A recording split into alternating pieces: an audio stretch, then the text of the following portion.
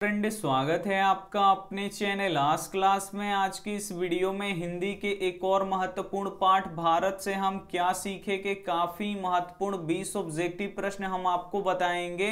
और ये जो 20 ऑब्जेक्टिव प्रश्न है, ये बोर्ड परीक्षाओं में बार बार पूछे जाते हैं। तो एक भी प्रश्न प्लीज़ आप लोग स्कीप मत कीजिएगा।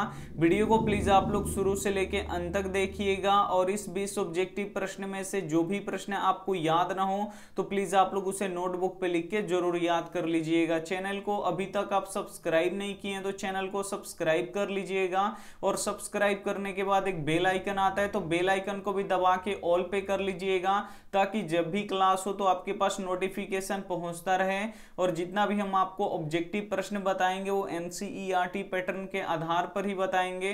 तो वीडियो को प्लीज़ आप लोग शुरू से लेके अंत तक ज़रूर देखिएगा। आइए शुरू करते हैं पहले नंबर प्रश्न से और पहला नंबर प्रश्न है कि भारत से हम क्या सीखे के लेखक कौन है? काफ़ी महत्वपूर्ण प्रश्न है। इसे आपको याद रखना है कि भारत से हम क्या सीखे के लेखक कौन है? ए ऑप्शन है अमरकांत, बी ऑप्शन है भवानी शंकर त्रिवेदी, सी ऑप्शन है रामविलास शर्मा, डी ऑप्शन है मैक्स मुलर। यहाँ पे आपको बताना है कि भारत से हम क्या सीखे के लेखक कौन है?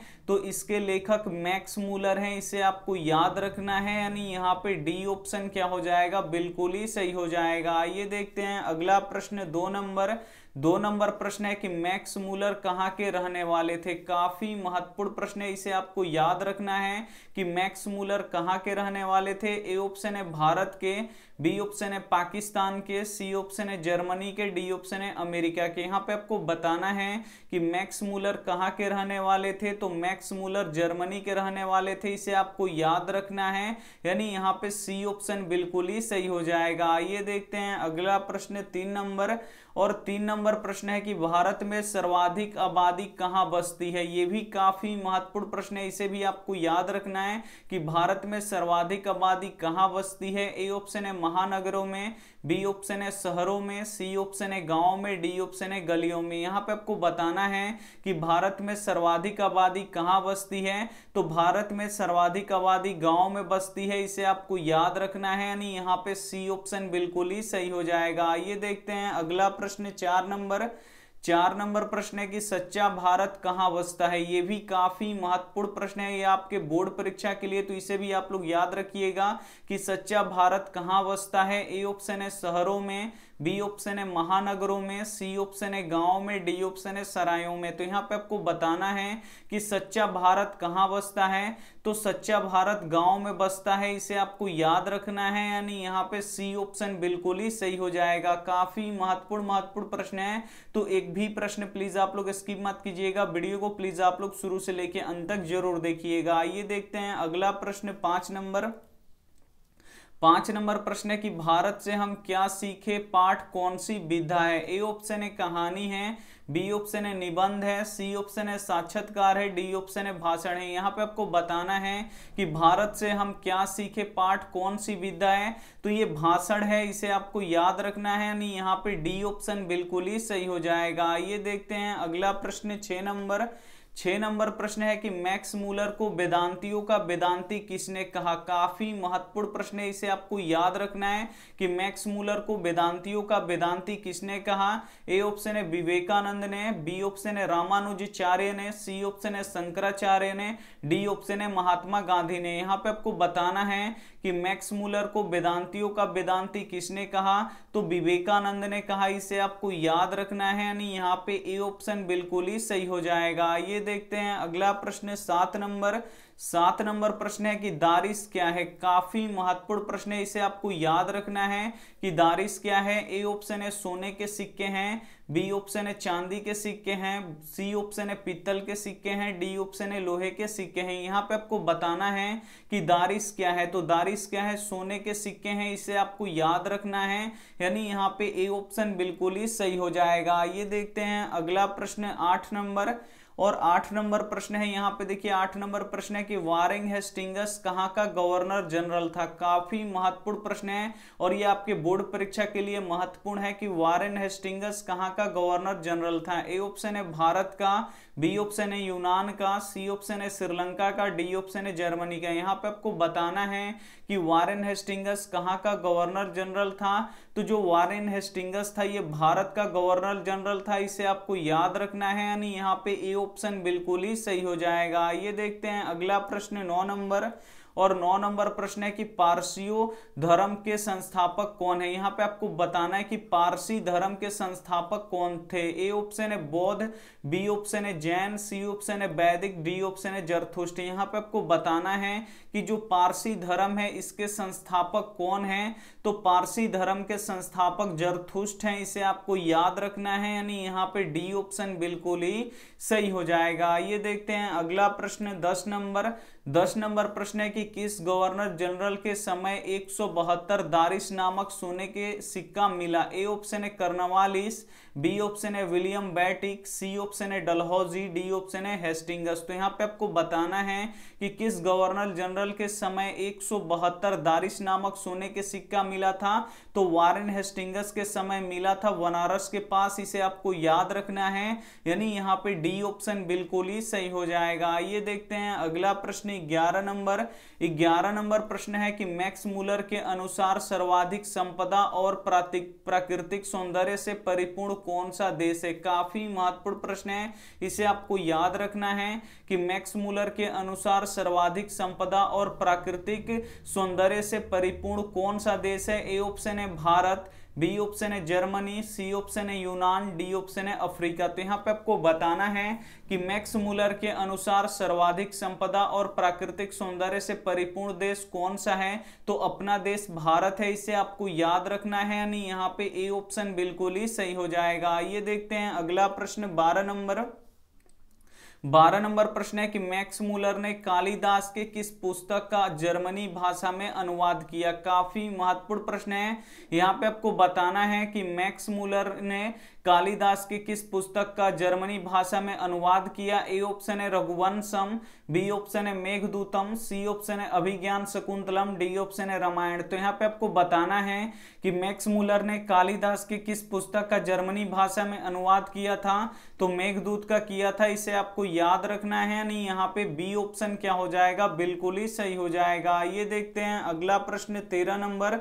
तेरह नंबर प्रश्न काफ़ी महत्वपूर्ण है कि हरकस कौन थे? काफ़ी महत्वपूर्ण प्रश्न है तेरह नंबर।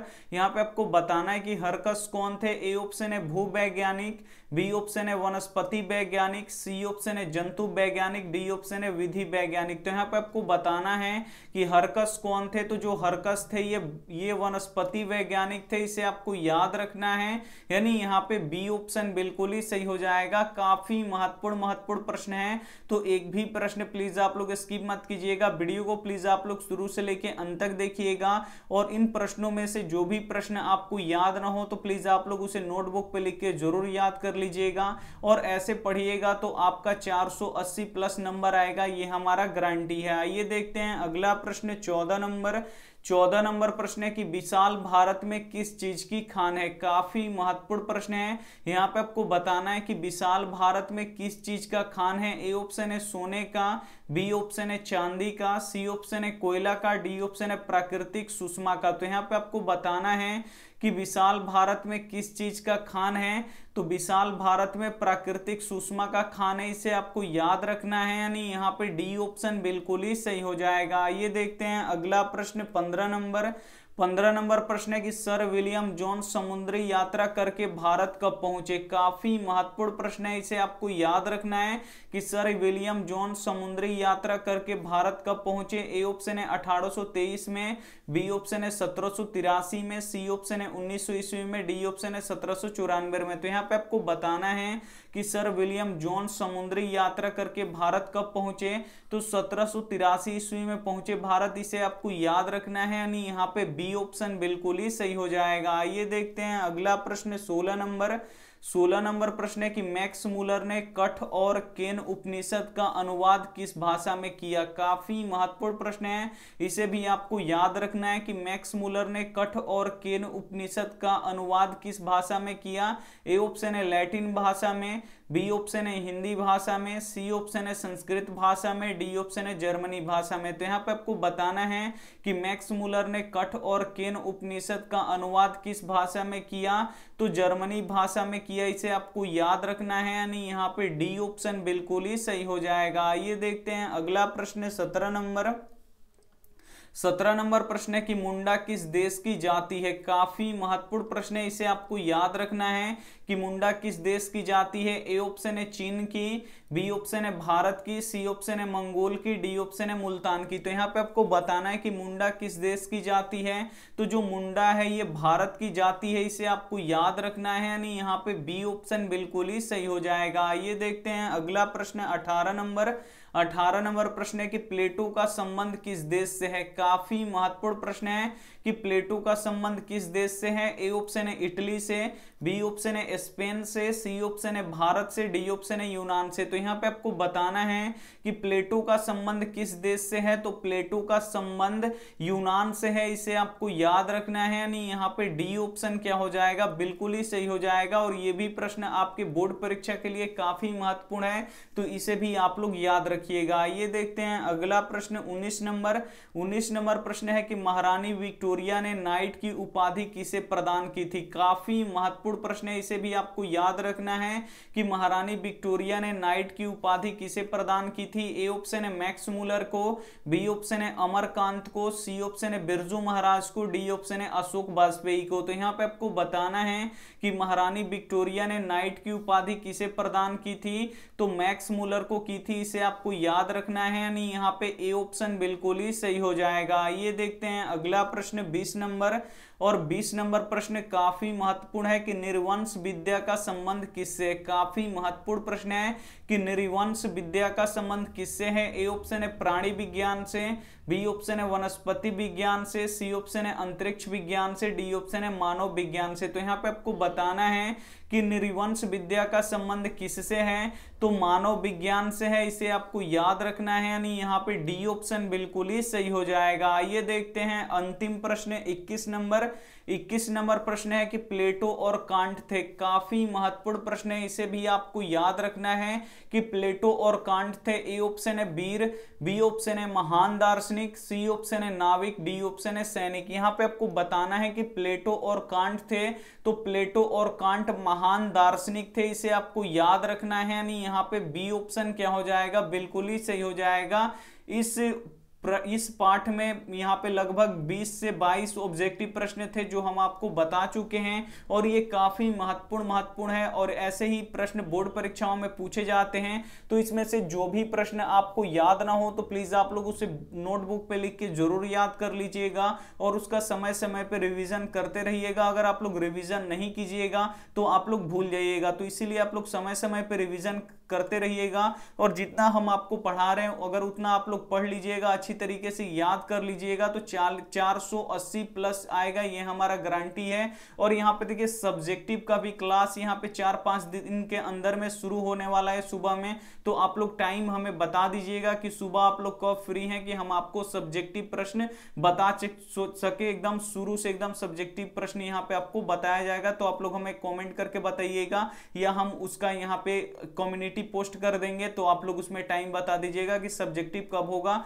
और यहाँ पे देख लीजिए आपके लिए होमवर्क प्रश्न है तो इसका जवाब आपको कॉमेंट बॉक्स में देना है।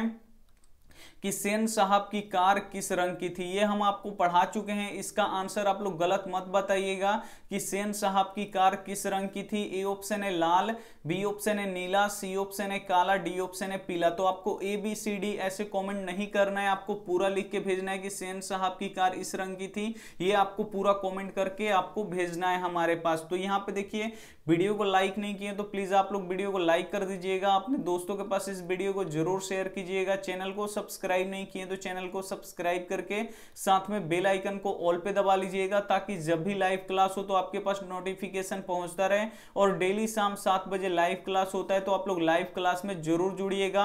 अगर आप लोग हमारे study group WhatsApp study group में नहीं जुड़े हैं तो कॉमेंट बॉक्स में एक व्हाट्सएप ग्रुप का लिंक होगा। तो वहाँ से आप लोग क्लिक करके डायरेक्ट हमारे व्हाट्सएप ग्रुप में जुड़ जाइएगा। वहाँ पे आपको लाइव क्लास का टाइम या यहाँ पे जो क्लास होता है उस वीडियो का लिंक हम वहाँ पे शेयर करते हैं। और आने वाले समय में जब इसका पीडीएफ भी बन जाएगा तो उसको उसी ग्रुप में डाल दिया जाएगा तो आप लोग उस ग्रुप में ज़रूर जुड़ी जाइएगा। अगर आप बॉय हैं, यानी आप लड़के हैं तो ज़रूर जुड़िए।